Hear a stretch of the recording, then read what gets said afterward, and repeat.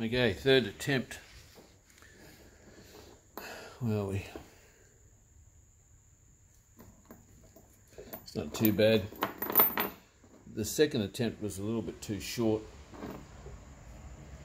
Where is it? Come on, this one.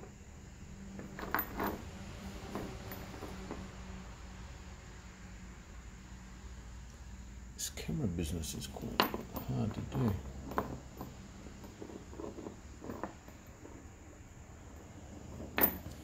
Probably not very good, you know, if you look at a professional standard, but we'll see how it goes. If it doesn't hold, well, I'll just tie a bowl on, bowline on it until I can get someone to do it properly.